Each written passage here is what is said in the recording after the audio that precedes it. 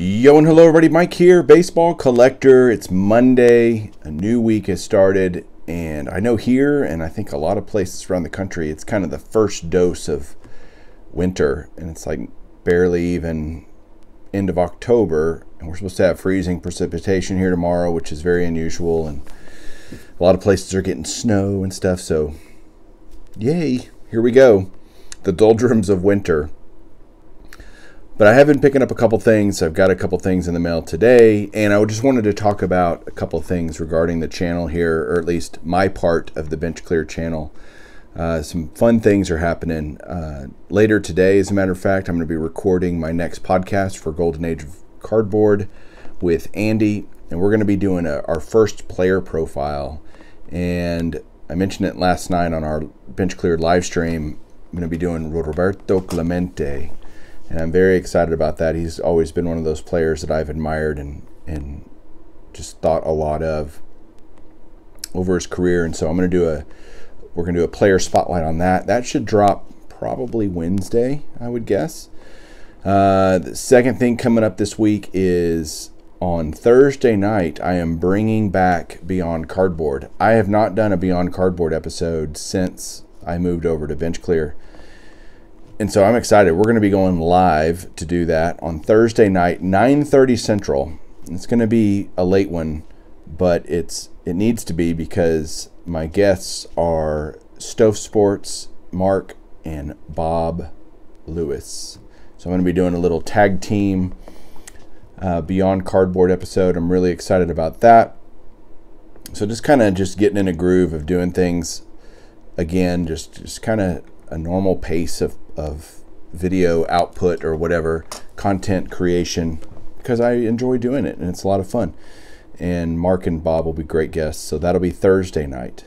And there's one thing that I've want to do that I've been God spitballing and trying to figure out and working on for a while now.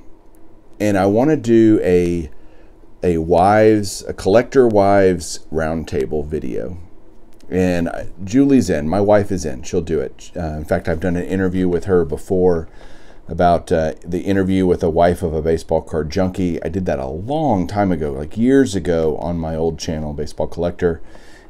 And I want to do it again, but I want to make it more of a roundtable discussion where you have several different wives of different collectors uh, with different interests and all that kind of thing just to talk about what they think about the hobby. So this is kind of a casting call, I guess. Like, hey, do you have a spouse or significant other that would be interested in coming on and doing that kind of roundtable video? Uh, I've already got a couple of feelers out there with some people, and hopefully I can get. I don't want it to be too big because then it gets into this cacophony of of noise, and you can't. Nobody can really make any points, but I want to have four or five, maybe three or four ladies, I guess, and then I'll, I'll be like a moderator asking the questions to the ladies. But if if you have a wife that would like to, or a spouse, or I guess significant other that would like to participate, I'd love to talk to them. So, you know, shoot, put a comment down below, and we can start kind of dialoguing about that and seeing if we can make that work and Anyway, I just think it'd be a really fun and interesting video and certainly a different spin because we all have our perception of what our spouses and significant others think about our collecting, but we can get the real scoop, the real deal. That'll be fun. So anyway, all of those things, lots of going on. And uh, anyway, I'm writing articles and man, I'm just having a great time with the hobby right now. It's just a lot of fun. It's a lot of content out there, a lot of stuff to watch. And uh, there's a giant show coming up in just a few weeks, but I'm not going to spoil any of that because that's uh, there'll be plenty of time to talk about that. So here in Dallas. So there you go, guys. Uh, let's get to some com- uh, comments. Hopefully, you'll write some comments. Let's get to some cards. We'll look at a couple of things. I only got three things in the mail, so it'll be quick. Here we go. Like I said, three pickups, a couple of slabs, nothing huge, but I got a 1979 Tony Perez. I Expos. I just love the Montreal Expos stuff. It just uh, really resonates with me. I miss those days of the Expos. Two teams in Canada Now we only have the Blue Jays, so cool card there.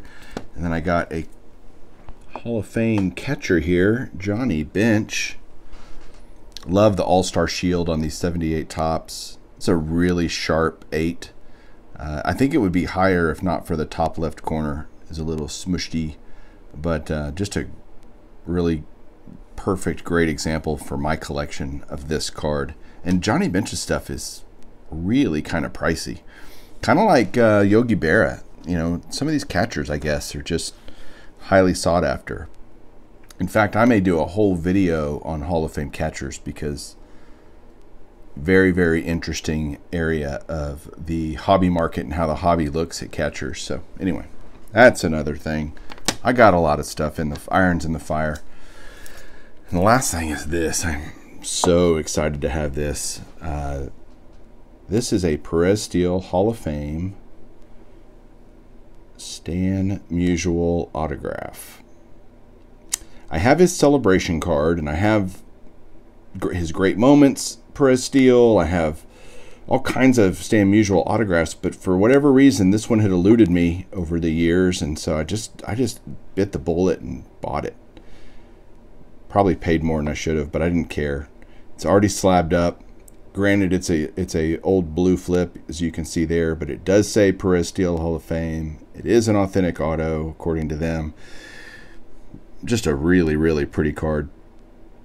And so I didn't have this one. This again, this is the Hall of Fame postcards so there you go.